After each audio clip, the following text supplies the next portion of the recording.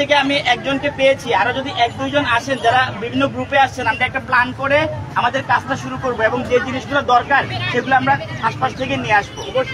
আমি তো আমরা মিছিল দেওয়ার পরে কোনোভাবে কোনো দিকে না যাই আমরা আবার একশো মিনিট ফিরে আসব এবং আবার কাজ শুরু করব। সবাই ঠিক আছে?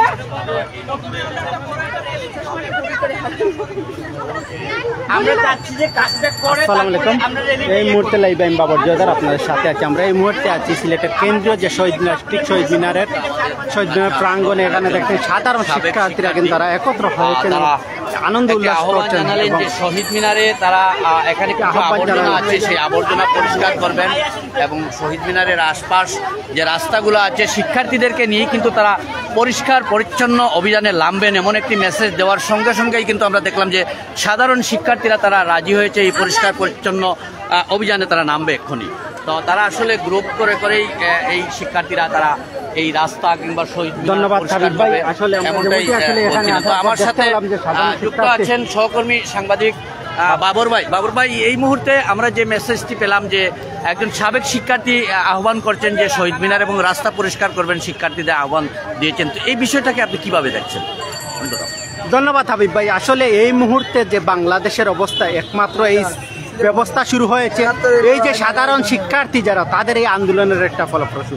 আপনি যেমনটি বলছেন যে আসলে এই যে সাধারণ শিক্ষার্থীরা ইতিমধ্যে কিন্তু সাবেক শিক্ষার্থী আহ্বান করেছেন যে এই শহীদ মিনার প্রাঙ্গণটি আসলে পরিষ্কার করে এরপরে তারা আনন্দ মিছিল, এটা আসলে খুবই ভালো এবং প্রশংস- প্রশংসনীয়। এই মুহূর্তে যদি প্রত্যেকটা ছাত্র সমাজ যদি এরকম প্রত্যেকটা জায়গায় যদি তারা এসে এরকম যে গতকালকে যে আমরা দেখেছি বিভিন্ন জায়গায় কিন্তু তারা অগ্নিসংযোগের মতন অনেক ক্ষয়ক্ষতি হয়েছে। সব কিছুর পরে কিন্তু দেশের সম্পদ আমাদের দেশের প্রবাসী ভাইদের রেমিটেন্সের টাকার মাধ্যমে দেশের ইয়ে করাগুলো। সব কিছু এইরকম সাধারণ শিক্ষার্থীরা যেভাবে এগিয়ে যাচ্ছে আশা করা যায় খুব অচিরেই বাংলাদেশ একটি উজ্জ্বল দ্বার প্রান্তে বলে এগিয়ে যাবে। ধন্যবাদ। ধন্যবাদ বাবর ভাই। ধন্যবাদ আহ, প্রিয় দর্শক, আমরা সাবেক যে শিক্ষার্থী যিনি আহ্বান করেছিলেন পরিষ্কার পরিচ্ছন্ন করবেন তার কাছে আমার একটি প্রশ্ন রয়েছে। ভাই একটা প্রশ্ন রয়েছে আপনার কাছে। আমরা দেখেছি এই মুহূর্তে তো ট্রাফিক পুলিশ রাস্তায় নেই। আপনাদের ছাত্রদের পক্ষ থেকে কি ট্রাফিক পুলিশের মধ্যে কোনো সহযোগিতার কোনো কার্যক্রম আপনাদের আছে কিনা বা এমন কোনো আমরা আসলে এখনও অপেক্ষা করতেছি যে আমাদের সমন্বয়করা যে দাবি করেছেন যে আপনার অন্তর্বর্তীকালীন যে সরকার ব্যব- ব্যবস্থাটা করে তারপর হচ্ছে দেশকে আমরা একটু আগে তিনটার মধ্যে বলছেন যে এটা কার্যক্রমটা শুরু করে দেওয়ার জন্য এর মধ্যে ঘোষণা করে দেওয়ার জন্য। তো আমরা আপাতত আমাদের ক্ষুদ্র পরিসরে আমরা পরিষ্কারের কাজটা শুরু করতেছি এবং গাড়ি ঘোড়া কিন্তু তেমন নাই এবং কোথাও সেরকম যা- যানজট নাই। তো আমরা মনে করতেছি আপাতত সেটা আমাদের প্রয়োজন নাই এবং সেনাবাহিনী কিন্তু বিভিন্ন জায়গায় আছে যেখানে ওনারা দেখতেছে কোনো ঝামেলা হচ্ছে সেখানে ওনারা আছে। তো আমরা আপাতত পরিষ্কার পরিচ্ছন্নতার কাজটা আমরা এগিয়ে নিয়ে যাচ্ছি ধন্যবাদ। ধন্যবাদ আসলে আমরা সবাই শিক্ষার্থী সাবেক বিজ্ঞান প্রযুক্তি বিষয়ে একজন সাবেক শিক্ষার্থীর কাছে আমরা যদি জানতে পারি আপনারা দেখতে পাচ্ছেন এই দেখেন কুমলতি বাচ্চারা এবং যারা সাধারণ শিক্ষার্থীরা তারা কিন্তু প্রথমেই এই যে কেন্দ্র শহীদ মিনারের যে পরিষ্কারের কাজ তারা কিন্তু অংশগ্রহণ করেছে। এরকম যদি শিক্ষার্থীরা বাংলাদেশে যুগে যুগে স্থাপন করে, তাহলে বাংলাদেশ অতি তাড়াতাড়ি কিন্তু এই যে কঠিন যে যে দুঃসময় সেটা থেকে কিন্তু বেরিয়ে আসবে বলে মনে করছে সাধারণ শিক্ষার্থীরা।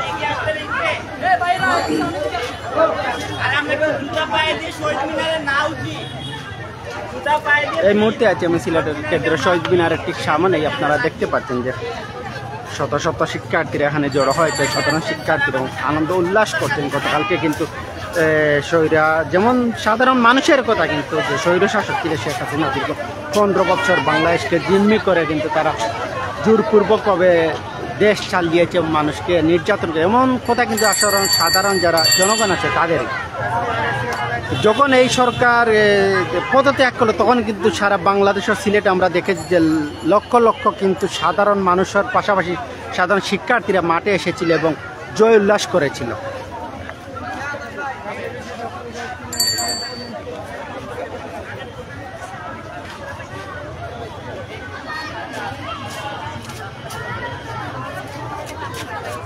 আসলে আমরা যেদিকেই তাকাচ্ছি, সেদিকেই কিন্তু মানুষের মধ্যে একটি আনন্দ উল্লাস বয়ে যাচ্ছে।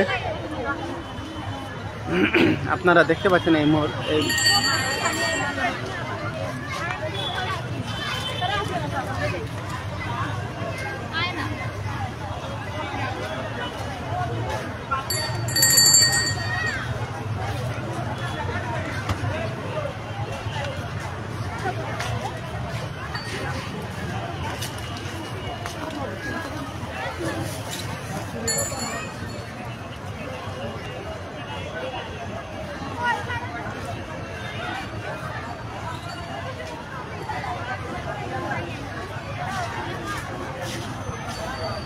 আমরা এই মুহূর্তে সিলেটের কেন্দ্রীয় শহীদ মিনারের ঠিক সামনেই আপনারা দেখতে পাচ্ছেন, শত শত শিক্ষার্থীরা কিন্তু এখানে জড়ো হয়েছেন এবং আনন্দ উল্লাস করছেন এবং কিছুক্ষণ আগেই কিন্তু শাহজালাল বিজ্ঞান প্রযুক্তি বিশ্ববিদ্যালয়ের সাবেক শিক্ষার্থী এসে সবাইকে আহ্বান করেছেন যে, এই যে শহীদ মিনারের পাশে বা রাস্তায় যে ময়লা দেখা যাচ্ছে সেগুলো কিন্তু পরিষ্কার করার আহ্বান করেছে সবাই কিন্তু সেই আহ্বানে সাড়া দিয়েছেন।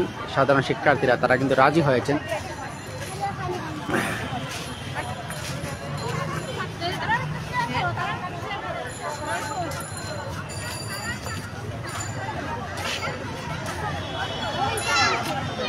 আমার সাথে লাইভে আসলে যারা এতক্ষণ জেনে সবাইকে এই পর্যন্ত লাইভ থেকে আমি বিদায় নিচ্ছি। এতক্ষণ আমি আপনাদের সাথে ছিলাম বাবর জোয়ারদার সবাই ভালো থাকুন সুস্থ থাকুন। আসসালামু আলাইকুম।